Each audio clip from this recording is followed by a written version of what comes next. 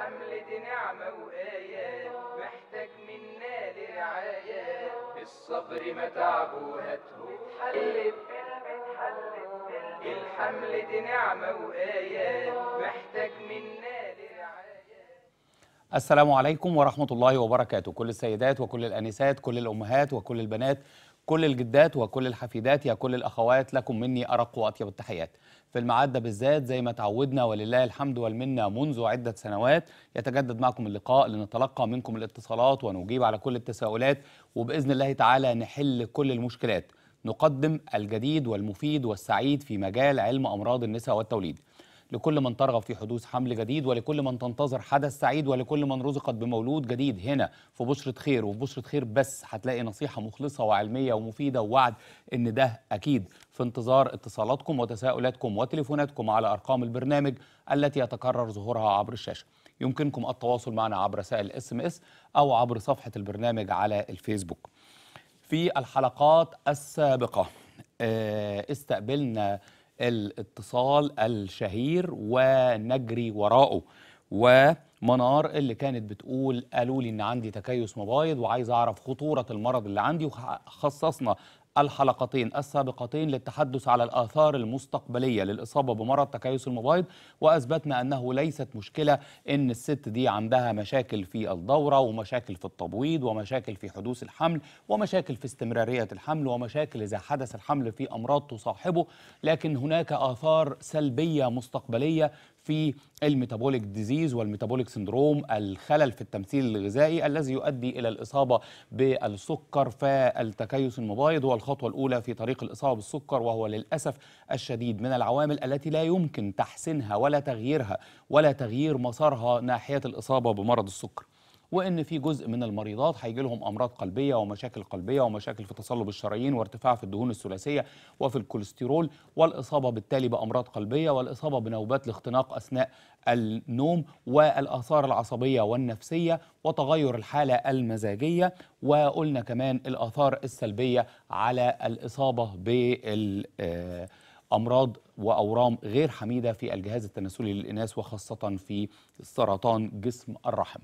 وقلنا الكلام ده كله مثبتا ومؤكدا. كان الجزء الثاني من سؤال منار أنا عايز أعرف المرض اللي عندي. بعد ما قالت عايز أعرف خطورته عايز أعرف المرض اللي عندي ودرجته وتأثيراته. فيسعدني أن أقدم لكل المتكيسات في الوطن العربي حيث منطقتنا العربية من أكثر مناطق العالم إصابة بتكيس المبايض ومن أكثر مناطق العالم في زيادة عدد حالات تكيس المبايض ومن المناطق الساخنة جدا. It appears to be an epidemic of BCO in areas of East Mediterranean. تعليق الجمعية الأمريكية لأمراض الخصوبة اللي بتقول أنه يبدو أن تكيس المبايض ينتشر انتشار وبائي في منطقة شرق المتوسط. فمنطقتنا العربية من أعلى مناطق الإصابة بالعالم. فاليوم سنعرض ما هي الأعراض الأكثر حدوثا في مريضات تكيس المبايض إيه الأعراض اللي بيحسوا بيها؟ إيه الأعراض اللي بيشتكوا بيها؟ إيه الشكاوى بتاع مريضة تكيس المبايض كيف تعرف مريضة أنها متكيسة؟ دون الجدال ودون المقاومة ودون رفض صحيح العلم. كما تعمل السيدات المصريات دائما عند إبلاغهن بالحقيقة. كل ست بتخش العيادة أنا عايز أعرف أنا عندي إيه. أول نقول لها أنا عندي إيه لأ أنا ما عنديش ومحدش قال ده قبل كده. تعالوا نشوف الحقيقة في الإصابة بتكيس المبايض وما هي الأعراض الخمسة الأكثر حدوثا في مريضات التكيس. في مريضات في أعراض كتيرة جدا لكن هنحاول نجمل خمس أعراض رئيسية. بالمناسبة من تقدم هذا الفيديو اللي أنا هترجمه لحضراتكم هي مريضة أصيبت بتكيس المبايض خدعها الأطباء كالعادة ولم يقولوا لها الحقيقة ف قامت بالبحث والتمحيص والدراسة فأصبحت خبيرة في تكيس المبايض وفي مشاكل تأخر الحمل وفي العادات الغذائية وكيفية تغييرها لتغيير هذا المرض وبقى ليها موقع على الإنترنت بتقول وبتعمل فيديوهات وبتقول فيه كلام أنا أقسم أنه صحيح وعلمي وأحسن من اللي بيقوله كثير من الأطباء رغم أنها ليست طبيبة لكن لما شالت الإبرة القربه المخرومة اللي بتخر على دماغها كان لازم تشيل هي مسؤوليتها لأن محدش بيقول لها الحقيقة يا منار فبالتالي بحثت ووصلت إلى هذا ومعكم الآن يبدأ الأعراض الخمسة الرئيسية لمريضات تكيس المبايض ونشوف لا نعلي الصوت يا جماعة cycles. And this can range to really, really long cycles, 35 days or more, no cycles at all, cycles that come but at really awkward intervals, or sometimes you have regular cycles or seemingly regular cycles, but you don't ovulate. And that is obviously a problem when you're trying to get pregnant if you're not ovulating. And women with PCOS have this issue a lot where they don't actually ovulate during their cycle, even if it seems regular to them. Symptom number two. لا يا جماعة نقف مش إحنا قايلين متفقين على القطعات إحنا متفقين ها؟ العرض الرئيسي المشهور الأكثر شهرة عند السيدات عند تكيس المبايض هو اختلال الدورة. لدرجة لما نقول لواحدة أنت عندك تكيس مبايض إزاي؟ ده أنا الدورة منتظمة. اختلال الدورة هو العرض الأكثر شهرة لكن ليس بالضرورة أن كل المتكيسات عندهن اختلال في الدورة. الدورة بتاع الناس اللي عندهم تكيس مبايض بيحصل فيها خلل. هذا الخلل قد يكون تأخر يوم أو اتنين اللي تروح لواحدة تخدعها وتقول لها لا ده عادي أصل الدورة بتيجي على 30 32 يوم ده عادي. تمام؟ لكن ما بتقولش الحقيقة اللي مكتوبة في كتب الطب إنها لو بتيجي على 32 يوم ده عادي بس لما يكون ده تغير حديث في طبيعة دورتها فده مش عادي. لكن في ناس بتعتقد أن تكيس المبايض العرض الرئيسي له هو تأخر الدورة وهو حقيقة. لكن ليس بالضرورة أن كل المتكيسات عندهن تأخر في الدورة. العرض نمرة واحد والأكثر شهرة والأكثر ظهورا هو تغير كمية الدورة وعدد أيامها غالبا ناحية القلة. لكن أحيانا بيحصل اختلال في الدورة وتأخر في الدورة لكن زي ما هي قالت لكم بالنص اختلال الدورة ده قد يكون أيام قليلة تأخرها اللي واحدة تقول إيه يعني دي بتيجي كل شهر صحيح بتأخر 3 4 أيام بس بتيجي. أيوه تكيس. أو بتتأخر ل 35 40 يوم أيوه تكيس. أو بتأخر بالشهرين ثلاثة أيوه تكيس. لكن بعض مريضات تكيس المبايض عندهن دورة منتظمة تماما بالساعة باليوم. وهم مريضات تكيس واحيانا مريضات تكيس من درجة شديدة. ولكن هذه الدورة المنتظمة هي قالت إيه؟ They have regular cycle or even semi regular cycles. يعني يتهيأ لهم إن الدورة منتظمة أو الدورة منتظمة جدا لكن إنهم ما بيحصل لهمش تبويض رغما عن هذه الدورة المنتظمة. طبعا لما نقول لواحدة إن حضرتك ما عندكيش تبويض تقوم تجي لنا الكلمة الشهيرة أمال الدورة دي بتيجي منين يا دكتور؟ ده أنا اتعلمت في العلوم في إعدادي إن أنا الدورة دي هي عبارة عن البويضة التي لم تخصب. الدورة هي هبوط هرمونات المبيض وليست بالضرورة إن كل واحدة عندها دورة عندها تبويض. السيدات اللي عندهن دورة منتظمة غالبا عندهم تبويض وليس يقينا فبعض حالات تكيس المبايض وبعض الحالات الشديدة والدرجات المتقدمة قد يكون عندهن دورة منتظمة تماما. ولكن في كل سيدة عندها اختلال في الدورة هي عندها خلل في الهرمونات يقينا. نقول الجملة دي تاني الدورة مرآة الهرمونات. اللي عندها دورة منتظمة غالبا عندها هرمونات كويسة وتبويض جيد غالبا وليس يقينا لكن كل دورة مختلة معناها إن في خلل في التبويض وفي الهرمونات يقينا. العرض الأكثر شهرة لتكيس المبايض هو اختلال الدورة لكن في بعض الأحيان قد تكون الدورة منتظمة تماما. وإلى اللاحق من المفاجآت في أعراض تكيس المبايض نستكملها مع حضراتكم نستكمل الفيديو بعد فاصل قصير فاصل ونواصل الأعراض الأكثر شهرة لمريضات تكيس المبايض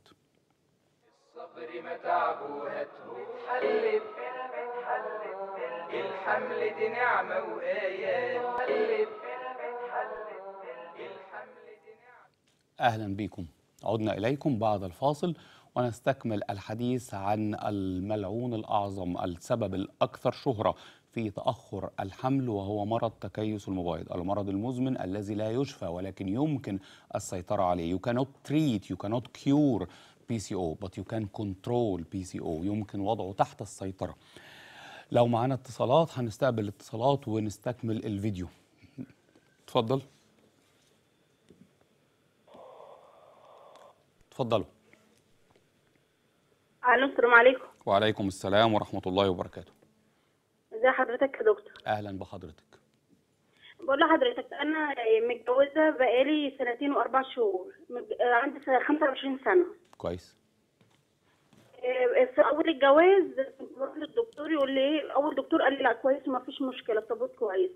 بعد كده رحت لدكتور تاني برضه اداني تنشيط وما حصلش حمل. طبعا كالعادة حضرتك ما قلتيش الجملة اللي المفروض نسمعها. ما حصلش حمل لحد دلوقتي يا دكتور ودي شكوتي. لا ما حصلش لحد لا. كل أيوة، مريضات تأخر الحمل في مصر يتجنبن نطق هذه الجملة وأكننا مفترض. طيب المهم وبعدين؟ أول دكتور قال لي التبويض كويس ومفيش مشكلة. إيه، بعد كده ما رح- بعد كده رحت لدكتور تاني قال لي التبويض ضعيف ومحتاج زقة. محتاج إيه؟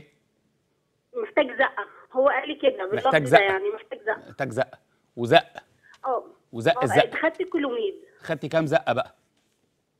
لا هو الدكتور أصلا ما بيقعدش هو بيسافر شهرين بيقعد 15 يوم أو شهر بالكتير. بس فبعد كده خلاص يعني ما بقيت أروح للدكتور يقول لي التبويض كويس إما يدوني يدوني تنشيط وخلاص. السؤال إيه بقى؟ ف... إيه؟ السؤال ما هو السؤال؟ هو هو جزء كل الد- الدكاترة تطلب منه التحليل يقول لي طول ما الدكتور قال يعني إنه التبويض محتاج زقه يبقى في مشكلة. تمام. ف- وإيه اللي يمنع وإيه اللي يمنع إن حضرتك يبقى عندك مشكلة وإن الزوج يبقى عنده مشكلة؟ هل هو المفروض الخطوات اللي المفروض أعملها عشان أبقى ماشية صح. ما تروحيش لأي حد وما تعمليش أي حاجة وما تاخديش أي علاج إلا لما زوجك يعمل التحليل. خلاص؟ طب أنا المفروض أعمل إيه؟ لو عملت تحليل أنا المفروض أعمل إيه؟ ما تروحيش لأي حد وما تعمليش أي حاجة لحد ما زوجك يعمل التحليل. لأن حضرتك مش هتحملي لوحدك ولأن مشاكل الأزواج مسؤولة على الأقل عن 40% من أسباب تأخر الحمل. ولأنه ليس من العدل ولا من الحق ولا من المقبول إن واحدة تروح وتقلع هدومها وتقعد تنتظر في عيادة وتعمل سونار وتاخد علاج وتاخد تنشيط عشان هو مش عايز يعمل تحليل. ثم لما تحليله إن شاء الله يطلع كويس يبقى حضرتك تروح للدكتور تأخر الحمل يقول كلام علمي لأن الكلام الذي قيل لحضرتك يفتقد إلى دليل. ما قلتش إنه غلط بس قلت بلا دليل. يعني إيه؟ مفيش دليل. ها؟ التبويض بيتقاس بتحاليل واللي يقول لحضرتك ما أنا شايفه قدامي على السونار مش عايزه أرد أقول المفروض التعليق يبقى إيه. تمام؟ طيب هل معانا اتصال تاني؟ طيب اتفضلي يا أمل. السلام عليكم يا دكتور. وعليكم السلام ورحمة الله وبركاته. كنت عايز أستفسر عن حاجة بس يا دكتور. اتفضلي. أنا متجوزة بقالي سبع شهور. 27 يوم. لا سبع شهور. سبع شهور. أيوه. آه. ال- البريود في الأول كانت منتظمة. ما أيوه كانتش بتتأخر يعني بتيجي في ميعادها. عمرها ما اتأخرت لحد ما اتجوزتي وبعد الجواز هو الجواز اللي جاب تأخيرها. آه هي كانت منتظمة قبل الجواز وبعد الجواز بكام شهر كده يعني. وبعدين؟ بس فجت في يوم هي اتأخرت أربع أيام بس. فرحت افتكرت إن أنا حامل وعملت اختبار حمل. فطلع سلبي طبعا. فطلع ما فيش حمل. وبعد ما عملت آه، الاختبار بيوم. اتنين قامت نازلة الدورة. لا هي بعد أربع أيام نزلت فأنا أيوة. رحت للدكتور حكيت له اللي حصل معايا وقلت له إن هي اتأخرت بس أنا قلت له إن هي نزلت كده على 34 يوم بالظبط. قال لك عادي ولا مشكلة. لا طبعا قال لي إن هي كده يعتبر اتأخرت. الحمد لله. قال حقا. فاداني اللي هو البرشام مش فاكرة اسمه بس هو بيبقى نصه أبيض والنص التاني كده بني. أيوه برشام الخداع الشهير المخادع الأكبر. عشان حضرتك تاخديه فهتقومي قايلة لي والدورة جت منتظمة. فاللي جت منتظمة دي لا هي دورة ولا هي منتظمة ولا دي دورتك دي أثر البرشام. وقال لحضرتك خديه ثلاث شهور عشان حضرتك تنخدعي في الثلاث شهور دول وتنسي القصة وتنسي إنك رحتي له وتقولي الله العلاج ده ظبطها. لا بس هي يا دكتور كمان بعد كده حصلت معايا مشكلة. أنا أخدت بعد ما أخدت البرشام لي أيوه بغض النظر حصل. مشكلة أو لأ هذا تعليقي على هذا العلاج. تمام. أيوه. بس المهم إن هي الشهر اللي بعده فجت منتظمة فعلا في ميعادها يعني. ما هي دي لا دورة ولا منتظمة ولا دورتك. تمام. آه بعد كده رحت له. رحت له تاني. فأخدت اللي هو في مارة اللي هو المنشط. كويس. وليه حضرتك خدت منشط إذا كان أنت طبيعية وما عندكيش حاجة؟ ما أعرفش. هو الدكتور التاني منشط عشان جوزي بيسافر يعني المنشط 15 يوم المنشط. المنشط حضرتك انت امل بتاخديه عشان عمر جوزك مش موجود. بالذمة ده كلام عقلي يقبله. امل بتاخد علاج عشان جوزها ما بيتوجدش. يعني يعني امل تاخد. علاج عشان جوزها بيسافر. امل تاخد علاج عشان دورتها منتظمة بالساعة. امل بتاخد علاج عشان تبويضها هايل.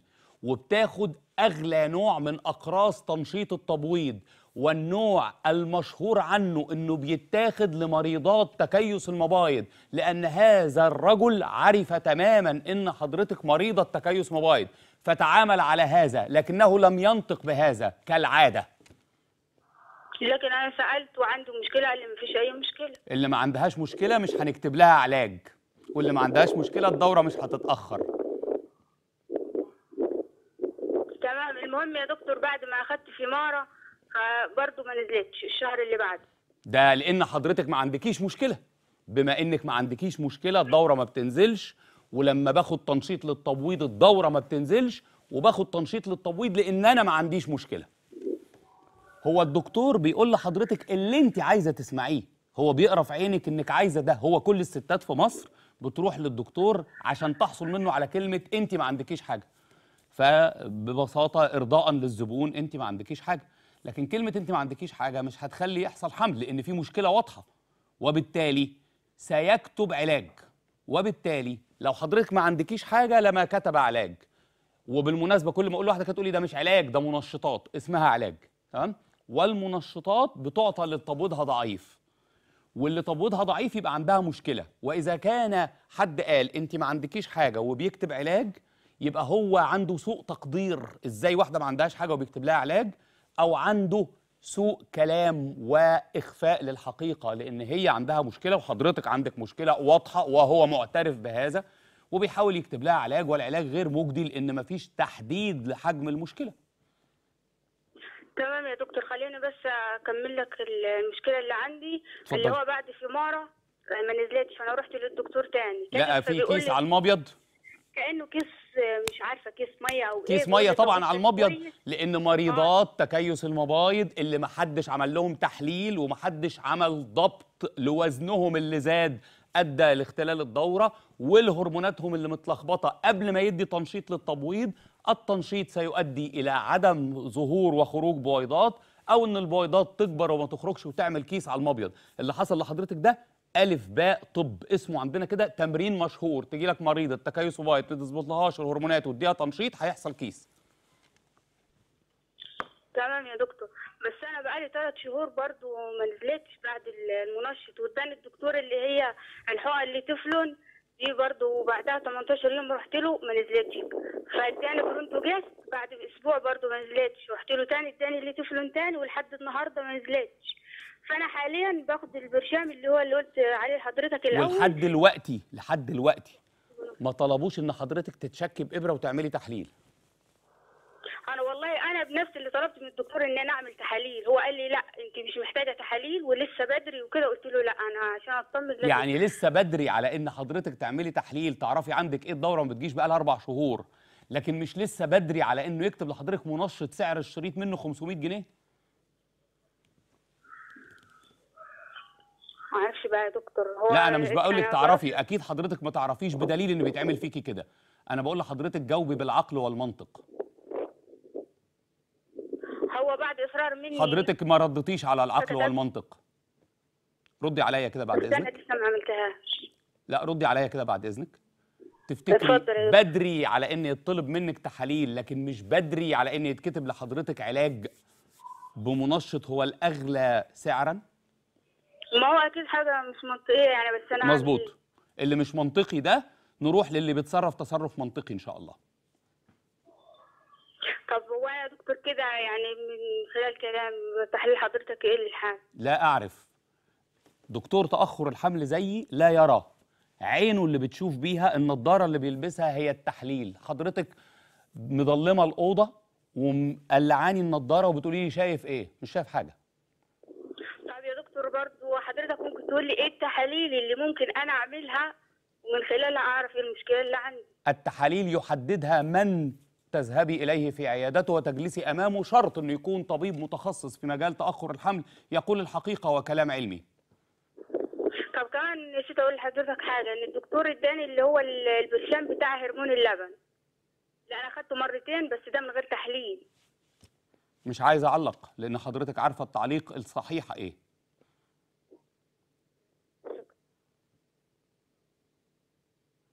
هذا هو الحال. هذا هو ما يتم مع مريضات تكيس المبيض هذا هو الخداع. منار لست وحدك. الفيديو القادم إذا ربنا إدانا الصحة والعمر وكنا للحلقة القادمة خلصنا الفيديو ده الفيديو موجود على الإنترنت بعنوان خمس حقائق صادمة يجيب يجب أنا آسف يكثر إخفائها أطباء يحرص على إخفائها أطباء النساء. الفيديو القادم خمس حقائق عن مرض تكيس المبايض يحرص الأطباء على عدم معرفتك بيها وإخفائها عنك. هتشوفوا الصدام والصدمة اللي هنشوفها في الفيديو القادم. ما تيجوا نكمل الفيديو ده ونشوف العرض الثاني لتكيس المبايض بالمناسبة يا أستاذة أمل اللي متجوزة بقالك سبع شهور. العرض الأول لتكيس المبايض هو إيه؟ اختلال الدورة. ممكن نجيب الفيديو من الأول كده ون... ونمشيه وناخد نقف عند القطع رقم اتنين. اتفضلوا من الأول بعد إذنكم. Symptom number one is سيمتوم irregular نمبر 1 menstrual العرض cycles. الرئيسي This رقم can واحد range to really, really long cycles, 35 days or more. No cycles at all. Cycles that come but at really awkward intervals. Or sometimes you have regular cycles or seemingly regular cycles, but you don't ovulate. And that is obviously a problem when you're trying to get pregnant if you're not ovulating. And women with PCOS have this issue a lot where they don't actually ovulate during their cycle, even if it seems regular to them. Symptom number two. Symptom number one is irregular menstrual cycle. Challenges. Now, everywhere else you read or see, you're going to hear this called infertility. I don't like to use the word infertility. Infertility really means that you are completely infertile. You've had your ovaries or your uterus removed from your body. What you're experiencing is a fertility challenge. Challenges can be overcome. So we go over the mountain, under the mountain, around it, however we need to do, but we can overcome challenges. And fertility challenges are big with PCOS. We are experiencing increased rates of PCOS, increased rates of fertility challenges that come with that. And this is actually one of the number one things that you will see with women who eventually get diagnosed with PCOS. And you may not know that this is that this is the problem, that PCOS is your issue until you go to get pregnant and are unable to. So this is a big, big red flag. السبب الرئيسي لتأخر الحمل في العالم قاطبة هو مرض تكيس المبايض لو قلنا ان في 100 سيده متاخره عن الحمل في العالم هيطلع ما يقترب من 70% منهم هم مريضات تكيس المبيض حضراتكم ملاحظين إن بقى في فرع في الطب اسمه تأخر حمل وإن حالات تأخر الحمل بتزيد والاحتياج لأطباء لحدوث الحمل بيزداد وده نتيجة لزيادة تكيس المبيض زاد تكيس المبيض فزادت حالات تأخر الحمل لأنه السبب الرئيسي لتأخر الحمل في العالم. كثير من السيدات لا يهتموا إن الدورة مش منتظمة زي أمل. كانت الدورة منتظمة وهي أنسة بس كان شعرها بيقع كتير وما كانتش مهتمة. كان بشرتها دهنية وما كانتش مهتمة. اتجوزت زادت في الوزن 5 كيلو كلهم زيادة في منطقة أسفل البطن. كل ده مش هاممها لكن اهتمت لما ما حصلش حمل. فكثير من المريضات بتوع تكيس المبيض عندهم أعراض زي اللي هنقولها وزي اللي هنوصفها لكنهم لا يهتموا ولا يذهبوا للبحث والفحص إلا عندما يتأخرن عن الحمل. فيعتقد كثير من الناس إن هم لما يروحوا لدكتور تأخر حمل ويسمعوا كلمة تكيس مبيض إن هم مصدومين هم عندهم أعراض أخرى لكن هم أهملوها والحاجة اللي بتأخذ اهتمام الناس هو تأخر الحمل. ليس لأنه العرض الوحيد لكنه العرض الأكثر ضغطا على السيدات للذهاب للأطباء. مرض تكيس المبيض ليس مانعا منعا تاما للحمل لكنه مؤخرا للحمل بوضوح حسب درجة تكيس المبيض وهو السبب الرئيسي لزيادة حالات تأخر الحمل في العالم كله وهو العرض الأكثر شهرة والأكثر ضغطا على السيدات إنها تروح. وساعتها لما تروح تسمع كلمة تكيس مبيض فتجد تفسير لحاجات تانية مرت بيها من سنوات زي ما قلنا كده بالنسبة لأمل وهي كانت تهمل هذه الأعراض. فده العرض رقم اتنين وهو تأخر الحمل والتكيس هو السبب الرئيسي لتأخر الحمل في العالم. لما تيجي ست زي أمل كده بتقول عندي دورة ملخبطة وعندي تأخر حمل 99% اللي يعمل الاتنين دول مع بعض هو حاجة واحدة هو هذا المرض اللي محدش قال لها عليه واللي المرض ده بيتشخص بتحاليل اللي محدش طلبها منها واللي بيتقال لها إن تبويض كويس ومع ذلك بيكتبوا لها علاج للتبويض وكل هذا خداع. لو معناش اتصال ناخد الجزء العرض الثالث Symptom number three weight gain or an inability to lose weight. اسمعي يا This هبه one is inability big. to lose weight Women with صعوبه في PCOS, فقد الوزن An increase of weight above their ideal weight of only nine pounds makes your PCOS symptoms much, much worse. So if you are someone that has gained weight very easily over the past many years and you have a complete inability to lose weight, the actual basis for this is hormonal and it's caused by the insulin resistance that's happening in the body. So we know from the science of food now that this is the issue. It's all hormonal and these hormonal issues really contribute a lot to PCOS. So you will see weight gain or it may be very, very hard for you to lose weight. Symptom number العرض الثالث لتكيس المبايض هو الزيادة في الوزن حتى لو كانت بسيطة وهذه الزيادة البسيطة غالبا في منطقة أسفل البطن. وهذا يؤدي إلى أن أكثر من 80% من مريضات تكيس المبايض بدينات لكن النحيفات ليسوا معفيات من الإصابة بتكيس المبايض هم الاستثناء هم الحالات الأقل عددا لكنهم غالبا الحالات الأكثر قسوة والأكثر درجة والأشد ضراوة في الإصابة بتكيس المبايض وحتى النحيفات يصبح عندهن امتلاء في منطقة أسفل البطن. تكيس المبايض من أعراضه زيادة مضطردة في الوزن وسهولة في اكتساب الوزن وصعوبة شديدة في فقد الوزن عند محاولة فقد الوزن وعمل رجيم. دي من أعراض تكيس المبايض لأن أساس تكيس المبايض هو خلل هرموني وأساس هذا الخلل الهرموني هو خلل في عملية التمثيل الغذائي وهو مقاومة للجسم لعمل هرمون الأنسولين وهو ما يؤدي إلى ارتفاع مستمر لهرمون الأنسولين وهذا الارتفاع المستمر لهرمون الأنسولين يؤدي إلى زيادة اكتساب الوزن بسهولة وصعوبة شديدة في فقد الوزن وهذا من الأعراض الرئيسية لمريضات تكيس المبايض فإذا كنت اكتسبت وزن حتى لو بسيط في الفترة الأخيرة وصاحب هذا اختلال في الدورة فهذا تكيس مبايض يقينا. يا ريت تسمعي يا أمل وتدركي. معنا اتصال تليفوني آخر ونستكمل بعده العرض رقم أربعة. اتفضلوا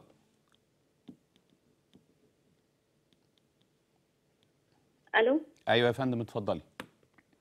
آه بص ح- السلام عليكم. ازيك يا دكتور؟ وعليكم السلام ورحمة الله وبركاته. زي حضرتك؟ اتفضلي. آه أنا اسمي آه، دنيا. أنا عندي 26 سنة متجوزة بقالي سنة وأربع شهور. كويس خالص هايل. أنا الدورة اول ما جات لي جات لي وأنا عمري 11 سنة. أيوه. تمام. وبعدين فضلت بس دورتي كانت بتيجي يعني ما كانتش بتيجي كل شهر منتظمة كانت يعني تيجي كل 40 يوم كنت تيجي كل كل 60 يوم وهل. اهتميتي حضرتك أو والدتك أو عائلتك بالبحث عن سبب لهذا؟ آه، لا ما هو ما هو حضرتك أنا جاية لك في الكلام تعالي فجت آه، بعد كده وكانت بتنزل تقيلة جدا جدا يعني كانت بتبقى رهيبة أيوه كان بيبقى فيها آه. نزيف شديد آه، دنيا بالمناسبة بس حضرتك نعم. تعليمك إيه؟ خريجة كلية إيه؟ أنا خريجة لغة عربية. تمام برافو عليا وعليكي لأن أنا أدركت على طول إن حضرتك تعليم عالي لأن مستواكي في الكلام وفي تقديم حكايتك وقصتك مستوى مدرك إن أنا بيفهمني واحدة واحدة وخطوة خطوة. بس حضرتك مرتبكة شوية أول مرة تواجهي كده جمهور فنفسك متلاحق فاهدي عشان نقدر نفهم القصة سوا. بعد ما كانت الدورة بقت شديدة إيه اللي حصل؟ لما وصل عمري ل 20 سنة أيوه. آه، جت الدورة فضلت ثلاث سنين وهي يعني تيجي وبعد كده أسبوع بعد ما كانت بتغيب جامد جامد بقت تيجي أسبوع وتقطع أسبوع. يعني فترة مدة أيوه الفاصل بينهم بقى. ضيق وبقت تقعد فترات طويلة حتى لو الفترات الطويلة دي نقطة بقعة نقطة بقعة بس مش عايزة تفصل. أيوة مش عايزة تفصل. كانت بين الدورات تبقى ما كنتش بعرف أساسا الدورة بتاعتي ولا كانت بتيجي بمغص زي ما بتيجي أو حاجة زي كده. بص حاجة كده بقت مش مفهومة يعني. أيوه فذهبتي بقى لفحص طبي ولا؟ رحت ال... أنا رحت لدكاترة كتير. يعني ما حدش جايب معايا نتيجة خالص. ما قالوا لك قالوا لك أنت طبيعية وما عندكيش أو- حاجة؟ كله يقول لي أنت ما عندكيش حاجة ده أنت آه، تقول لي آه، تقول لي ده أنت عندك خصوبة عالية. لا يا فندم ده ده تكيس مبايض من درجة عالية. طيب ماشي ده تكيس مبايض من رحت شديدة. الدكتور. ده تكيس مبايض من درجة شديدة أدت إلى زيادة سمك بطانة الرحم وهو ما يسمى عند الأطباء اللي بيعرفوا لحمية في بطانة الرحم. فبدل ما الدورة تتأخر وتيجي كميتها قليلة في مريضات تكيس هتتأخر وتيجي كتيرة وبحر ثم تتطور إلى إنها تيجي كتيرة وتفضل أسبوع 10 أيام أسبوعين نقطة بقعة بقعة نقطة مش عايزة تفصل خالص وأطهر أيوة، 3 بس- 4 5 أيام ثم نبتدي الموال مرة أخرى. وصاحب ده زيادة في تساقط شعر راسي كتير بس أنا ما كنتش مهتمه ما كنتش باخد بالي وهم ما أنا حدش وعاني. عندي شعري من قدام شعري من قدام بقى خفيف جدا أيوه يا يعني. فندم من هنا حضرتك صوري صورتك كده من ثلاث سنين ثم الأيام دي هتلاقي قرطك زادت سنتي ونص 2 سنتي نتيجه لانحسار شعرك. إلى جانب انحساره من المنطقتين دول لأن ده الانحسار اللي نتيجه لخلل في الهرمونات الذكورية. حيث حضرتك أنا راجل ما شفتكيش وبسمعك لمدة دقيقة ونص شخصتك وعارف فيه إيه وممكن أحكي لك الباقي تمام إلى جانب العصبية والنرفزة وتغير شخصيتك اللي الناس كلها لاحظتها في الفترة أيوة. الأخيرة واكتئابك الشديد كل شوية تعيطي والناس مش فاهمين أنت مالك إيه اللي غيرك فعلاً. كملي كم... بقول لك حضرتك أنا بحكيه وأنا ما شفتكيش ويا دوب سمعتك لمدة دقيقة ونص فاللي أنت بتروحي لهم ويقولوا لك أنت طبيعية وما عندكيش حاجة وخصوبتك عالية خصوبتك عالية خصوبتك عالية فبعد كده بعد كده حضرتك رحت للدكتور. أيوه. قال لي آم، قال لي أنت عندك تكيس مبايض واداني سيدوفاج الحمد لله. أول جملة أول كلمة طب في اللي أنت حكيتيه. وبعد كده اداني سيدوفاج واداني آه، حبوب لمنع الحمل اسمها ياسمينة قال لي دي عشان تنظم لك الدورة الشهرية. مظبوط لأن الدرجات الشديدة من تكيس المبايض خلينا بس زي ما زي ما انتقدنا لما نقول الحق الدرجات الشديدة من تكيس المبايض رأس مال الحمل بتظبط ده وبتنحف البطانة في الناس الأنسات اللي مش عارفين نعمل لهم كحت لبطانة الرحم هتقوم بدور في هذا الموضوع. بس إذا صاحب ده تغير في النظام الغذائي والعادات الغذائية ووزنك هيبقى مفيد جدا. إذا ما عملتيش دول مع العلاج العلاج هيبقى فترة ومؤقت تأثيره. آه في الحقيقة بقى بعد كده أنا دورتي انتظمت جدا. يعني بقت تيجي كل شهر بالظبط مظبوطة. حتى يعني أنا أخدت حبوب منع الحمل دي شهر واحد. بعد كده بقت تيجي باليوم. أنا كنت احسب لها تيجي على طول. آه بعدها اتجوزت بعدها بثلاث شهور. آه بعد ما اتجوزت بشهر ونص كده جات لي التهابات جامدة بعد الجواز. فجيت رحت لل- للدكتور اللي أنا كنت ماشية معاه ده. فأول ما كشف عليا قال لي آه قال لي عندك لحمية في الرحم. تمام يا فندم إحنا إحنا ده عارفينه من وانت آنسة. إحنا ده عارفينه من وانت آنسة. تمام؟ عندك لحمية؟ إحنا قلنا ده. ما هي اللحمية دي ما حدش عارفها وأنا آنسة. لا يا فندم إذا كنت. إذا كنت أنا هو ما شفتكيش وبقول مش أنا مش خمس دقايق قلت إن في لحمية؟ طيب أيوة. كملي. أيوه حضرتك قلت فجيت بعد كده بعد كده جيت بقى عملت منظار عملت اللحمية وعملت إشعة صبغه بعدها. آه، اداني منشطات ثلاث شهور بس, بس عشان نوضح للناس. حضرتك عملتي منظار رحمي لإزالة اللحمية. منظار رحمي آه، عملت إزالة للحمية وعمل لي توسيع لتجويف الرحم. ده مالوش قيمة. المهم. وجيت بعد كده فضلت آه، يعني جيت رحت له بعدها بشهر بعد العملية دي بشهر فعمل لي آه، آه، فجه اداني منشطات بقى. اداني منشطات أربع شهور ورا بعض. وكانت الاستجابة؟ ما حص- ما حصلش حمل. جيت بعدها أنا قعدت في البيت. لما رحت له تاني طلب مني تحليل هرمونات وطلب تحليل لجوزي. أخيرا يعني حضرتك قعدتي سنة وعملتي منظار رحمي وخدتي منشطات أربع شهور وزوجك ما حدش طلب منه تحليل؟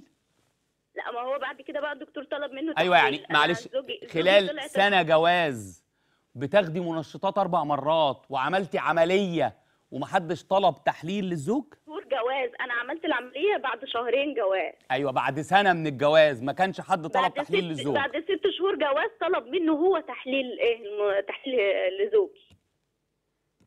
طيب أي ست تاخد أي علاج لتأخر حمل دون عمل تحليل للزوج؟ هذا ليس طبا. أيوه. فزوجي طلب منه لما طلب منه تحليل طلعت عنده ال- عدد الحيوانات المنوية 42 مليون آه، وطلعت الح... بس الحركة عنده 40% م- مش سيء قوي يعني المهم. آه، فالمهم بعد كده بقى الدكتور طلب مني تحليل هرمونات. آه، أخيرا. أقول لحضرتك على المعدلات بتاع تحليل الهرمونات؟ لا ما تقوليليش قولي لي أنا عارف إن تحليل الهرمونات لازم تشير إن حضرتك عندك تكيس مبيض من درجة شديدة. قولي لي بقى هو قال لحضرتك إيه؟ بعد تحليل آه، الهرمونات طلع عندي هرمون البرولاكتين عالي هرمون اللبن عالي. يعني هو دي المشكلة؟ ما أعرفش بقى هو طب أنا دلوقتي عايزه افهم المشكلة أنا باخد منشطات وما بيحصلش حمل. وباخد أنا ماشية على السيدوفاش دلوقتي بقالي سنتين. يا فندم حضرتك المفروض تمشي عليه العمر فما تعتبريش انك مشيتي عليه سنتين ان ده تفضلا من حضرتك أو ان ده زيادة يعني. تمام؟ أيوه ماشي ما أنا فاهمة. هو فاهمني كده إن أنا هفضل ماشية عليه على طول. طيب وزن حضرتك أخباره إيه؟ أنا وزني أنا طولي 155 هل أنا سألت 70. عن طول حضرتك؟ هل أنا سألت عن طول حضرتك؟ هل أنا سألت عن طول حضرتك؟ وزني أنا وزني 70 كيلو يعني بين ال 70 وال 75 كده يعني في الحدود دي. والدكتور قال لحضرتك تزيدي توصلي ل 80 ولا تحافظي على آه، قال لي 75 تمارين لبطنك. قال لك تمارين لبطنك. طب إيه رأي آه. حضرتك بقى إنك إذا رحتي عملتي شفط للدهون من بطنك ونزلتي بطنك اللي عاليه دي ده هيفرق إيه في علاج حضرتك؟ صفر. أيوة. تمام؟ فقد يعني الوزن هو أساس العلاج. يعني يعني أنا المفروض إن أنا أخف. آه. وإذا ما خستيش مفيش أيوه. تمام. نمرة اتنين بما إنك بقى طرحتي الموضوع هرمون ال H بتاع حضرتك كان كام؟ أو هرمون مخزون المبيض ال AMH كان كام؟ ال AMH 6 و76 من 100 ممتاز كما توقعت تماما. والدكتور قال لحضرتك إيه على تحليل المخزون ده اللي هو ستة ده؟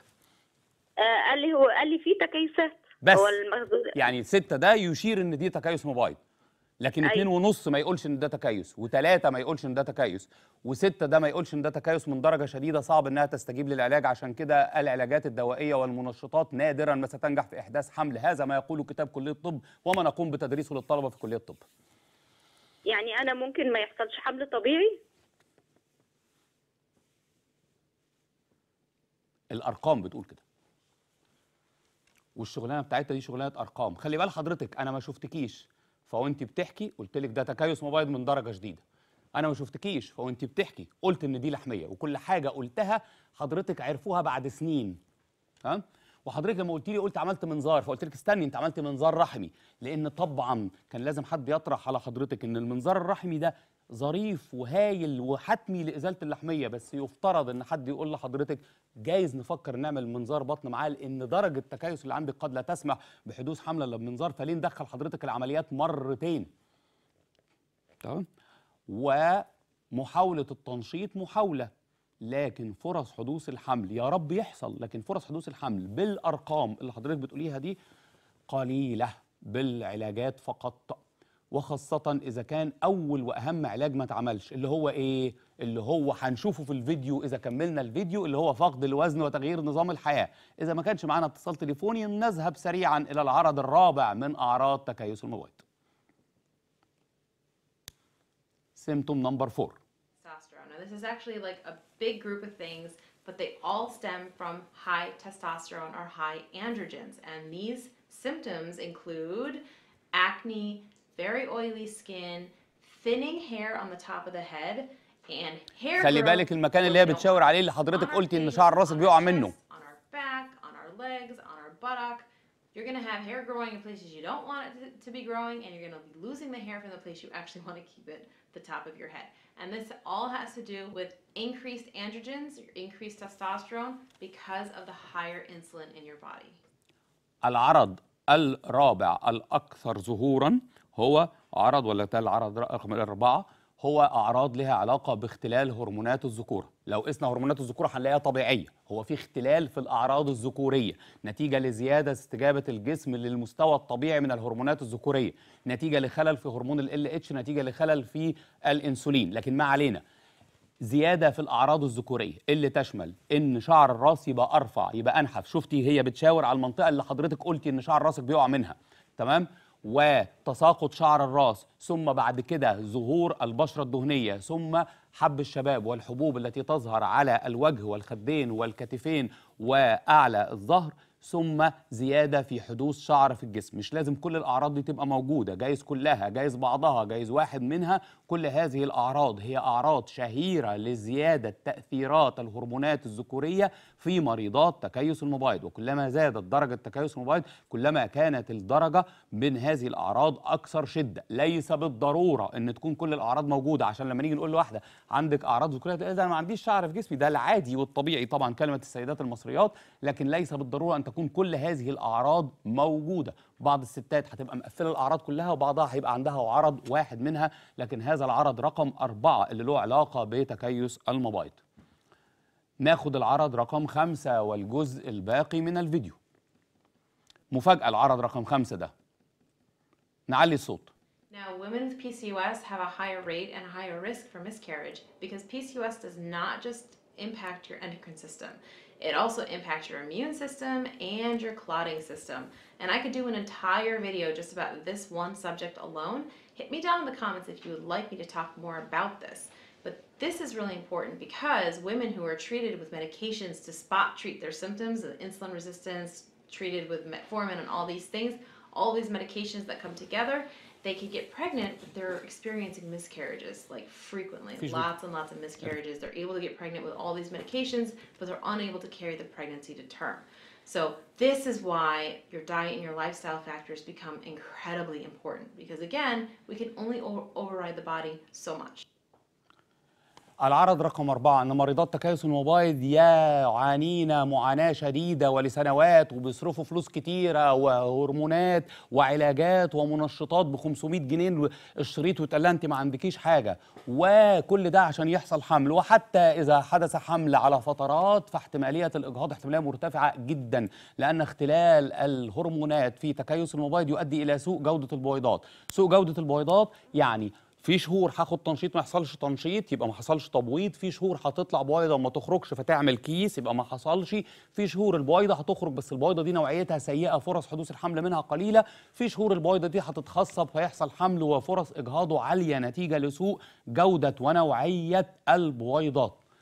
يعني الستات دول هيقاسوا ويعانوا في دورة متلخبطة في شكلهم وبشرتهم وشعرهم ومن يوم ما اتجوزت قدام جوزي شكلي وجسمي في شعر وبشرتي و إلى اخره وبروح لدكاترة وبصرف علاجات وعشان ويتابع تبويض وما يحصلش تبويض أو إذا حصل تبويض ما يحصلش حمل وإذا حصل حمل في احتمالية عالية للإجهاض. طب إيه علاج الكلام ده؟ عشان نشوف الست اللي اتصلت دي وبتقول ما أنا باخد المنشطات واللحمية إيه العلاج؟ إيه العلاج؟ إيه العلاج؟ إيه العلاج؟ هل هي الأدوية؟ هل هي المنشطات هل هي العلاجات طب إيه نمرة واحد في علاج تكيس المبايض نرجع سريعا للفيديو ونشوف بيقول إيه نمرة واحد نمرة واحد نرجع override the body so much. Okay, so we talked about some of the most common signs and symptoms, but what is the most important thing for you to know about all The most important thing، أهم you حاجة لازم تعرفيها عن تكيس المبايض. control over your PCOS than you may have been led to believe before.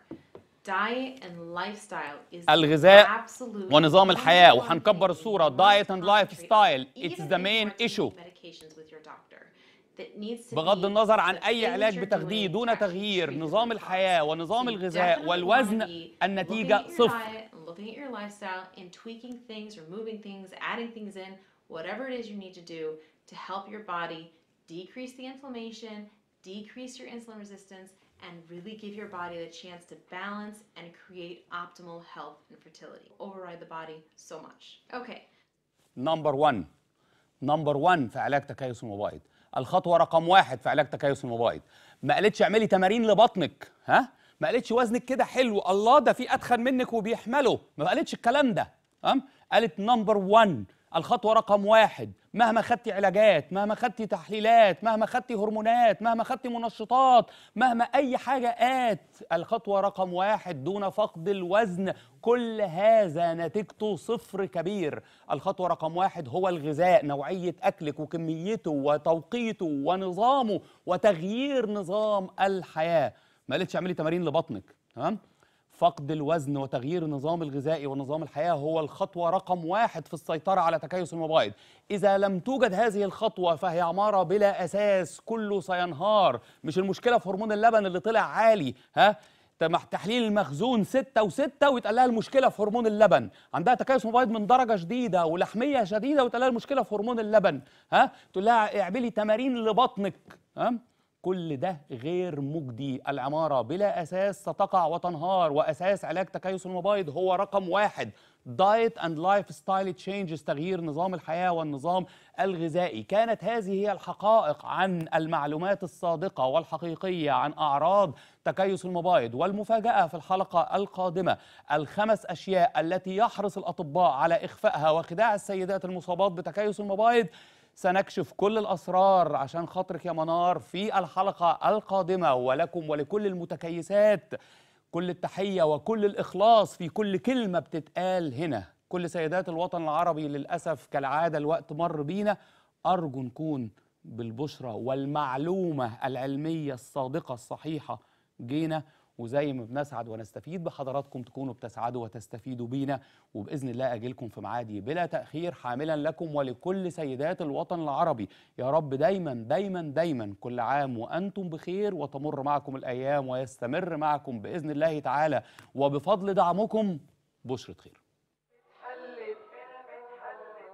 الحمل دي نعمة وآية محتاج منا لرعاية الصبر متعب وهاته اتحلت الحمل دي نعمة وآيات محتاج منا لرعاية. الصبر ما تعبه هتهون وبتحلت الحمل دي نعمة وآيات